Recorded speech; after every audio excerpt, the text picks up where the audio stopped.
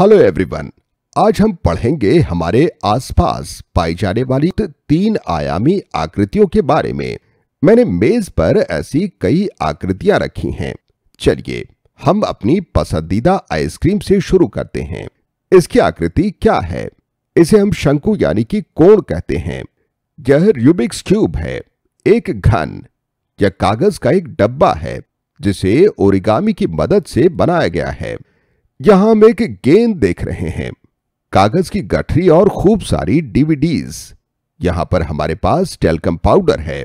एक केन और बच्चों का गहनों का डब्बा और ऐसी ही कई और चीज़ें। हम इन सब आकृतियों से घिरे हुए हैं और इन सब के बारे में थोड़ा थोड़ा जानते भी हैं। जैसे कि यह एक घन यानी क्यूब है। यह केन एक बेलन है, जिसे अंग्रेज़ी में सिलेंडर कहते हैं और यह गेंद स्फेयर है। वीडियो की श्रृंखला में ऐसी तीन आयामी आकृतियों का क्षेत्रफल और आयतन यानी वॉल्यूम निकालेंगे। इसके पहले यह समझते हैं कि इनका क्षेत्रफल और वॉल्यूम निकालना ज़रूरी क्यों है। मान लीजिए आप टेलकम पाउडर खरीदने जा रहे हैं। यहाँ पर एक बोतल ऊँची है और दूसरी की चौड़ाई ज़्यादा है। किस बोतल में ज़्यादा पाउडर होगा? इसके लिए हमें वस्तु की आयतन जानने की ज़रूरत है।